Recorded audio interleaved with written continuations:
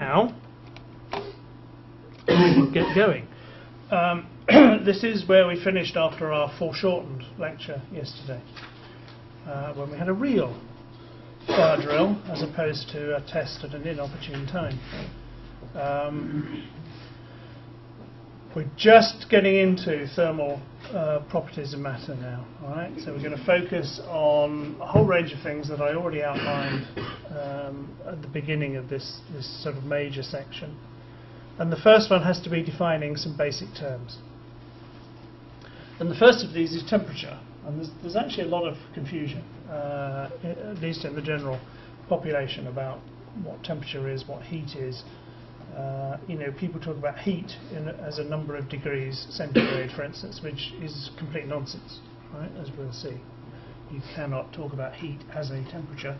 A temperature is a temperature, and a temperature is a measure of the degree of hotness of, of a material. Right? So it relates to the kinetic energy and the potential energy of all the particles, atoms, molecules, whatever, that make up that material. Okay?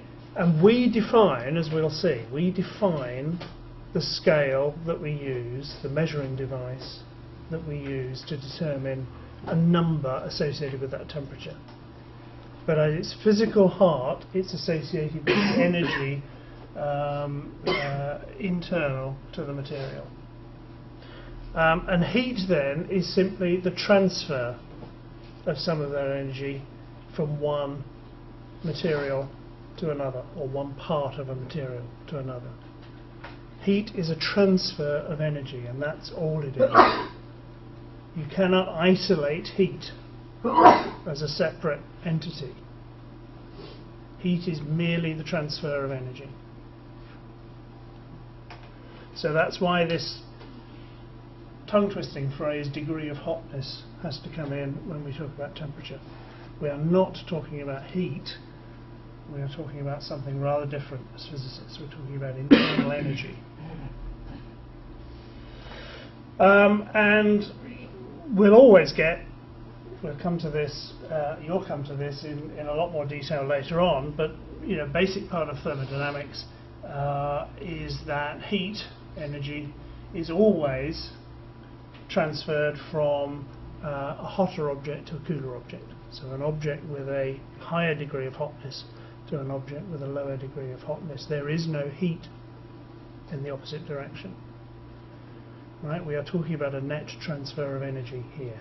Right? So the net transfer of energy is always going to be from the hotter object to the cooler object. So one's going to lose energy, the other's going to gain it. Alright, now I've already said what internal energy is, it's down here in text, uh, just uh, in case uh, you know you need it written down clearly. Um, but the point of this slide really is more to emphasize the fact that we can't uniquely measure the internal energy of a given object. So we have no absolute scale for the internal energy. We'd have to measure the kinetic and the potential energy of every particle in the material, right, independently at the same time. Uh, and Heisenberg's uncertainty principle, if nothing else, will prevent us from doing that uh, with precision. So, what do we do? We talk about changes in internal energy instead, because that's associated with heat, right? It's the flow in or the flow out of energy. And we can measure those things.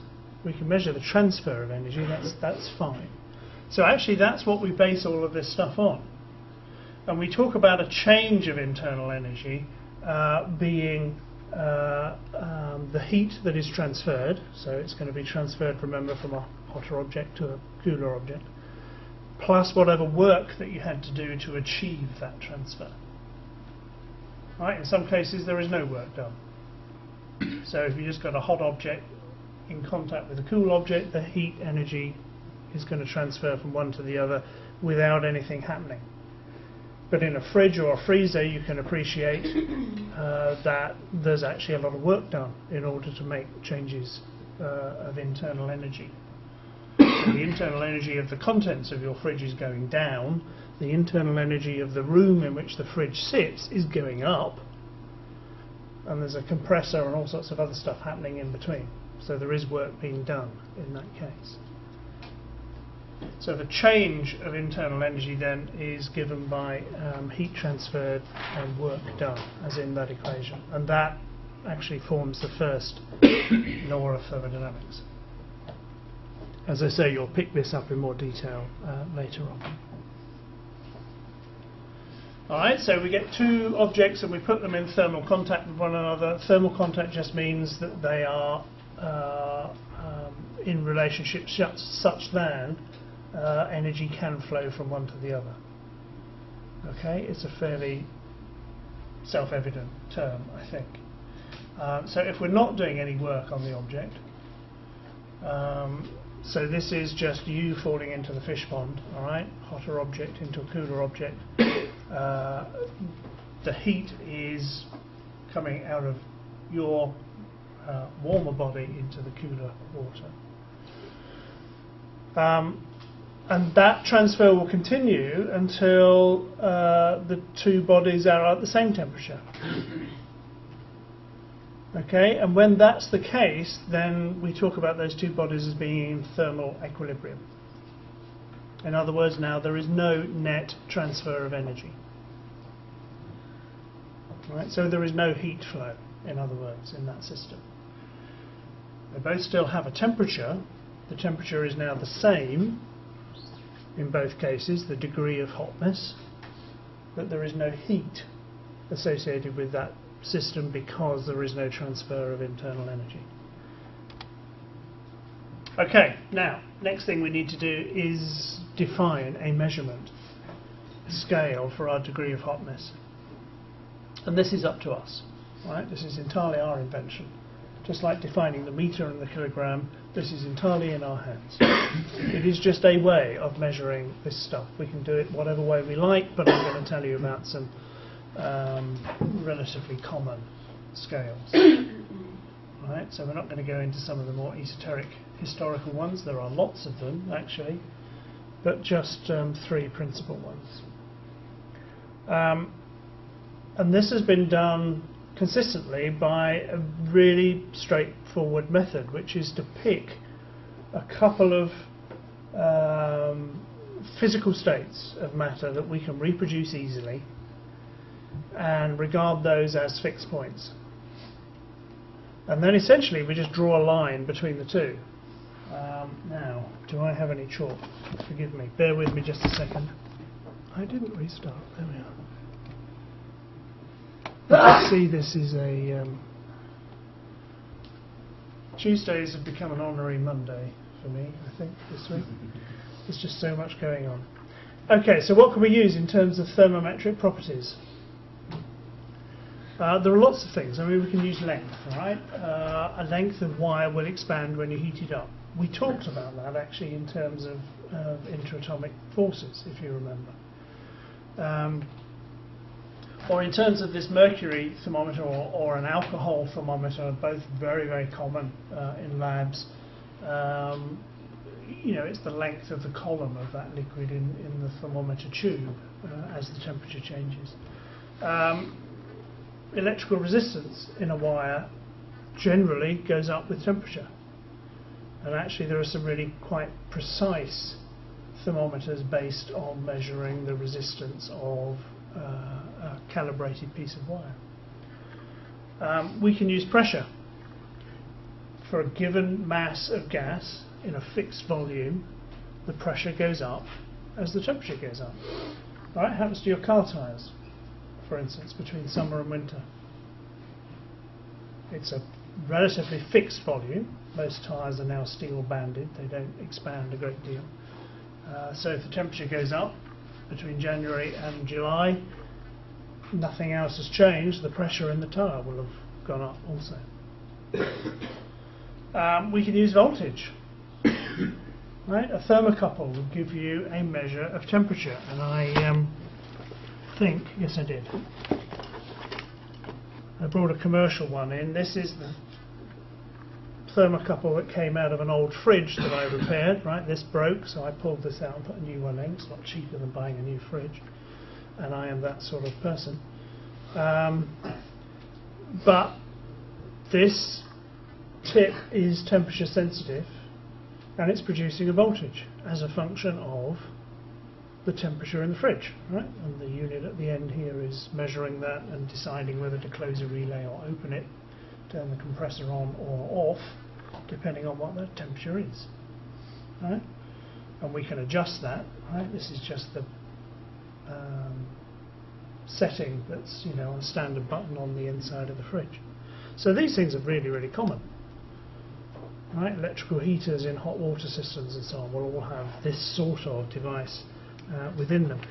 Um, as we'll see, you can make thermocouples out of all sorts of stuff. This is one I did for a student demonstration. I'll try and do this stuff with you at some stage if we can get the time, because it's good fun. Um, but you know, all we need is is some dissimilar metals. So the end pieces of this are some copper cable stripped out of a mains cable, and the bit in between is the sort of plastic coated wire you buy from garden centres for tying things up in the garden. And we actually, within one and a half degrees, I think, this crude thing managed to measure the boiling temperature of liquid nitrogen um, really very well in the lab. So you can, you know, you make your own desert island electrical thermometer if you need to. Um, we can use radiation. Things give off light when they're heated up, right? We're familiar that heating up a metal object, for instance, uh, will begin to take it into a sort of dull red glow, orange, yellow, and eventually it will glow white hot. It's giving off light. And we can use that light as a, as a means of measuring the temperature uh, of the object. This is a standard process um, when running furnaces, for instance. There will be a small hole through the door of the furnace through which you can look at the light coming out and determine the temperature inside you have to have a contactless system of that sort because obviously any thermometer you stick in there is likely to melt or at the very least corrode. okay? So there's lots of ways of doing this, lots of properties, lots of systems, and I, will I'll run through some of those as we get through. So these are the temperature scales I'm going to focus on. um, we'll talk about centigrade because it's the easiest way of introducing the basic um, equation. Uh, and it's you know a fairly classic one. It's it's based, as I suggested on the blackboard, uh, on the melting temperature of ice and the boiling temperature of, of, of water. Uh, and we've chopped up what's in between into 100 divisions. Um, Celsius is a very, very similar scale, uh, but it's not actually defined from the same fixed points. The Celsius scale is actually defined from the next one down, the third in our list, uh, the Kelvin or thermodynamic scale. Um, that's the one that is the reference for everything else because it's based on really fundamental, immutable uh, laws of, of, physics. The rest essentially get calibrated to that. And the Celsius scale is actually defined directly from the thermodynamic scale. Um, so, you know, when a lot of weather forecasters talk about their predicted temperatures in terms of degrees Celsius, it's unlikely that they will have been using uh, one of those gas thermometers that I'm going to tell you about later on to do their measurements. It's more likely they're using something calibrated against one of those, and it's probably more accurate to talk about degrees centigrade, therefore, than degrees Celsius. But it's a, we're splitting hairs. Um, the two are very, very similar. So here's our basic equation. this is how it uh, breaks down. Um, and it's relatively easy, I think, to uh, talk through this. Uh, we've got our two fixed points measuring this thermometric property. All right, one, um, this is, remember, the centigrade scale. So we have chosen 100 divisions as the basic unit of our scale. So this is our thermometric property at the melting temperature of ice. We've chosen that to be zero on our scale, hence the subscript. This is the thermometric property at the boiling point of water, which we have chosen, remember, to make 100 degrees. 100 divisions at the scale. Um, so the bottom line of our fraction then is this length. Yeah? Or rather, that length. Equivalently. So this is a measure of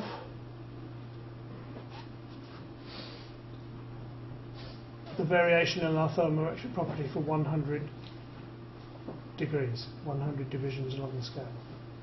So 100 over that is giving us our scale essentially. This is just how far away are we at our unknown temperature from the beginning of that scale. Yeah? So that's telling, that's asking us how far up this line are we from this point as a fraction of the whole thing. And the whole thing is 100 divisions. So that's what the equation does. Now you can rearrange this if you've got a mind to do it. It won't take you very long. And just prove to yourself this is the equation of a straight line. Just written in a slightly different way. Right. Classic way for writing an equation of a straight line is y equals the gradient times x plus a constant, the intercept on the line. Alright, now if you rearrange this, so that and that are going to be your two variables, y or x. You can make your own decision which you want to want to do. And it's just a matter of rearranging the fraction now, and you will find that you will get something that looks like that. Right? Bearing in mind that this, this, this, and this are all constants. They're all fixed. These, by definition, are our fixed points. Yeah? So you might want to do that sometime just for fun, just to convince yourself this really is a description of a straight line. It's just been written in a slightly different way to make explicit where these numbers are actually coming from. So, this is length of the column of mercury in a mercury thermometer, it's the resistance of a piece of wire, it's the pressure of a gas, it's the voltage coming out of one of these thermocouples. Whatever that is, as a thermometric property, uh, we can use it in order to determine a temperature in degrees, uh, degrees centigrade. Right, so moving on, this is, this is, as I said, this is the key scale. This is our um, benchmark for everything else. Um, the Kelvin scale, um, well, some people will call it a thermodynamic scale, some people, some textbooks will refer to it as an absolute scale. They're all synonymous, they're all talking about the same thing. Um, it's based on thermodynamic principles. uh, and one of the fixed points on this scale is absolute zero. It is the temperature at which all internal energy from a system has been removed. Right, now if you think in terms of a gas, not that we can actually get a gas precisely to absolute zero, uh, we're talking about something that's now exerting no pressure because nothing's moving. There's no kinetic energy left. Right, so there's no gas uh, atoms or molecules bouncing on the walls of the chamber, which is pressure. Right? Um, so absolute zero is defined when there is no internal energy of the system. That is most definitely a solid fixed point. Um, the other one is uh, actually not taking um, ice point or boiling point of water in a sort of naive way again, but actually something a teeny bit more sophisticated, something called the triple point. Now, you remember when we looked at states of matter um, a couple of weeks ago, and we looked at phase diagrams, I pointed out on a diagram uh, the concept of a triple point. Right? It's, it's a combination of temperature and pressure, where in water, for instance, we have ice, water, and steam all coexisting in the same container at the same time. Alright, we can't do that obviously just as a function of temperature, but if we apply some pressure as well, then we can achieve that. So this is a really tightly constrained fixed point. Yeah. Is there an absolute maximum temperature? Like, if you took all the energy in the universe and that was converted into heat what would that be? Or whether there'd be a temperature so hot that matter couldn't actually hold itself together and fall apart into the quark? Well, I guess what you're doing is talking yourself backwards towards the Big Bang, aren't you? So, that yes? So that's a yes, but don't ask me to put a number on it. Um, conceptually, yes. All right. In, in practice, I'm not sure it's actually terribly meaningful because it becomes really quite difficult to measure what you mean by temperature at that uh, at that point. Um, interesting question. Then. So again, just as with all the other scales, we get to choose how many divisions we're going to chop up between absolute zero and the triple point of water. It's our choice. This is our measurement scale. Okay, so the decision was taken um, that the triple point of water would be defined as being at 273.16 degrees Kelvin. And there's a canny reason for doing that. It means that uh, we end up with a neat 100 divisions then between the ice point of water, not the triple point, but the ice point of water and the boiling point of water. So we get this very neat correspondence to our classic centigrade measuring scale. Okay?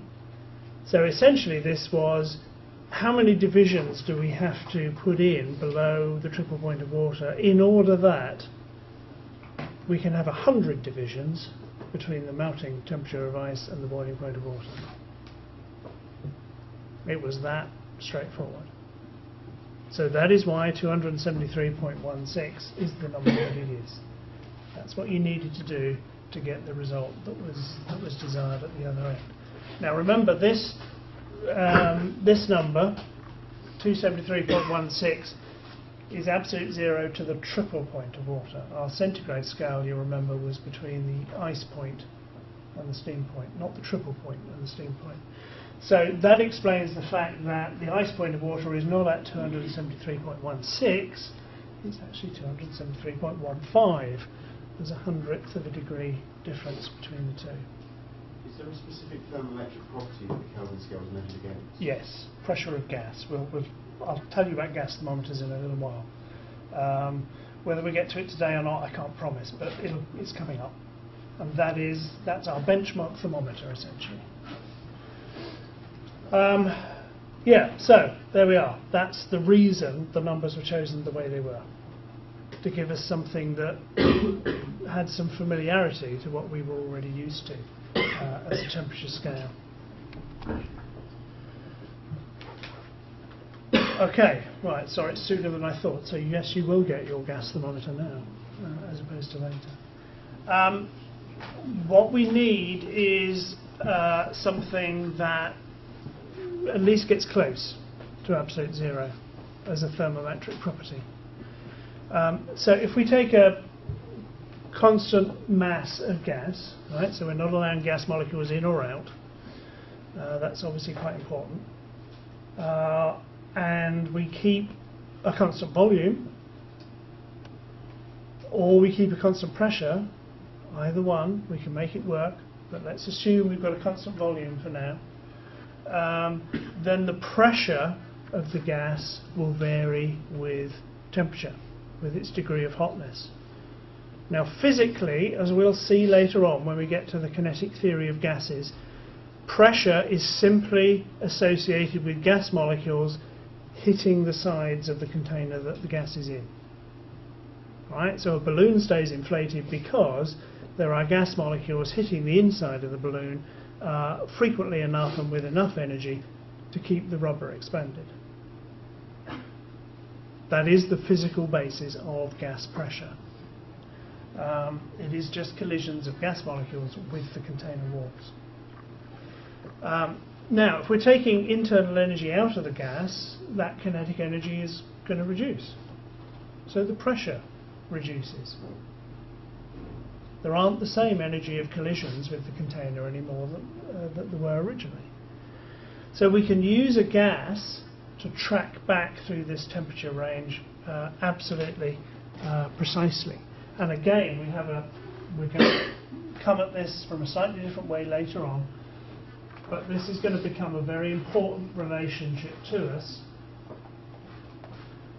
That if we multiply the pressure of a gas by its volume, that's always proportional to temperature. Yeah? So this is a straight line relationship. This is precisely what we needed for our master scale uh, of temperature.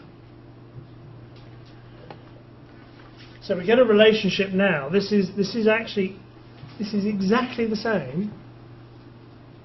And again, you might want to think about this. Um,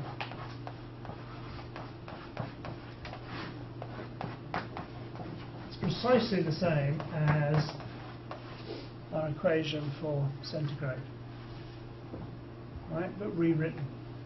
Why is it rewritten in the way that it is? Well, we don't have 100 divisions anymore. We've got to think about 273.16, remember. But, critically, we've got our thermometric property, which here I've written as pressure times volume, so something that's proportional to temperature. Um,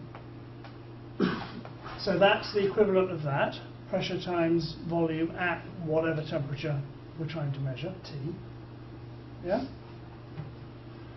Minus what? The thermometric property, pressure times volume at absolute zero.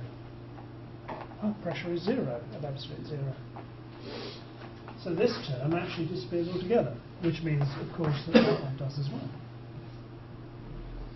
And this now is just pressure times volume at our fixed point, our high fixed point, which happens on this, on this scale to be the triple point of water. Yeah? So it's exactly the same conceptual equation, it's just that we've written it in terms of pressure times volume as our thermometric property. And we've been able to get rid of these two terms because they are zero on this scale, and we had to change this number, number of divisions, from 100 to 273.16. Right, so it's the same mathematical form, uh, we've just written explicitly now uh, for, uh, for this type of thermometer. Um, and our Celsius scale, as I said earlier on, gets defined from the thermodynamic scale. It doesn't have its own separate existence, as it were. So if you want degrees Celsius, you have to take the absolute temperature and take off it 273.15. Right, we, we need to move to the uh, ice point, the melting temperature of ice now, not the triple point, remember. So it's 0.15, not 0.16. Okay, so Celsius is, is defined in this very, very straightforward way. Take off 273.15 from the absolute temperature. So it doesn't have its own fixed points, it's not a separate scale in the way the centigrade scale was. It is derived from the thermodynamic scale. Uh, but, you know, as I say, to all intents and purposes, on a daily basis, because we've chosen the numbers the way we have, uh, our 0 and 100 correspond to the sorts of, same sorts of things that we were talking about with the centigrade scale originally. Yeah? Excuse me. Right, now on this next slide is essentially what I tried to do in a crude way up here. So I'm not going to talk through this uh, in great detail. it's simply using this sort of transmutation, if you like, to go from, excuse me, our standard um, centigrade scale through putting in pressure times volume, and then we get down to this Uh, uh, Celsius temperature, sorry, at the, at the bottom here.